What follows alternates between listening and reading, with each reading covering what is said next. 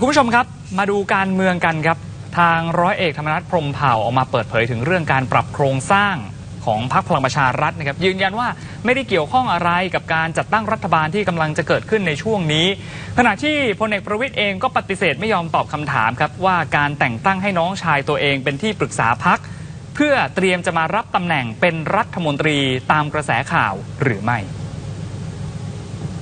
พลเอกประวิตยวงสุวรรณหัวหน้าพักพลังประชารัฐปรากฏตัวร่วมกับร้อยเอกธรรมนัฐพรมเผ่าเลขาธิการพักพลังประชารัฐป้ายแดงนะครับหลังจากที่ประชุมใหญ่โหวตเลือกให้กลับมาเป็นหัวหน้าพักแล้วก็เลขาพักอีกครั้ง โดยทั้งคู่เนี่ยร่วมงานในพิธียกช่อฟ้าอุโบสถ วัดโพศพผลเจริญที่จังหวัดปทุมธานี มีประชาชนที่ไปรอให้การต้อนรับขอถ่ายรูปกับบิ๊กป้อม รวมถึงเอาผ้าขาวม้ามาผูกที่เอว ตะโกนบอกว่าสู้สู้สู้สู้แล้วก็เรียกพลเอกประวิตยค่ะ ว่าเป็นนายกรัฐมนตรีคนที่ 30 ด้วย เนี่ยเป็นที่มาของรอยยิ้มนี้ใช่ไหมคะ อืมแล้วก็สังเกตสีค่ะหน้านะครับ ของพลเอกประวิตยก็จะเห็นว่าสดชื่นนะครับ ยิ้มแย้มแจ่มใสแบบนี้ครับ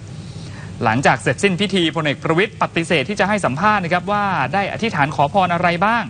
รวมถึงประเด็นการเมืองทั้งเรื่องการแต่งตั้งพลตำรวจเอก พัชรวาดวงสุวรรณน้องชายนะครับค่ะเป็นที่ปรึกษาอ่าเป็นประธานที่ปรึกษาพรรคพลังประชารัฐ ไม่ได้บอกว่ามอบหมายงานอะไรให้เป็นพิเศษหรือเปล่า หรือว่าตามกระแสข่าวที่เป็นการเตรียมให้พลตำรวจเอกพัชรวาทเนี่ยรับตำแหน่งเป็นรองนายกรัฐมนตรีในรัฐบาลใหม่ไหมเรื่องนี้พลเอกประวิตยก็ไม่ยอมตอบนะครับ เดินขึ้นรถกลับไปทันทีครับ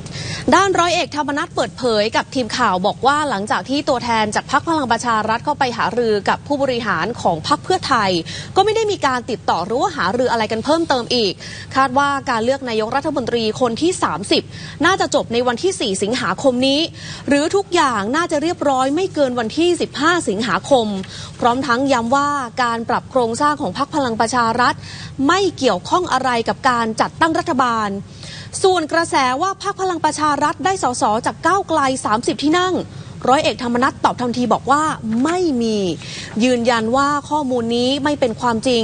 วันนี้เป็นการเมืองยุคใหม่แล้ว รับรองเลยว่าเรื่องแบบนี้ไม่มี ไม่ใช่ว่าให้เลขาเข้ามามีบทบาทแล้วก็เป็นตัวประสานกับออีกพักในการจับมือการตั้งรัฐบาล ไม่ใช่ หาก สูตรที่สามของพรรคเพื่อไทยไม่ใช่ครับท้ายปกสุติดแล้วต้องใช้สูตรที่สามไม่ไม่ครับปกติผมกับท่านสันติก็ประสานด้วยกันด้วยกันนะครับในเรื่องการปรับโครงสร้างครับไม่ใช่เรื่องการจัดตั้งรัฐบาลนะครับ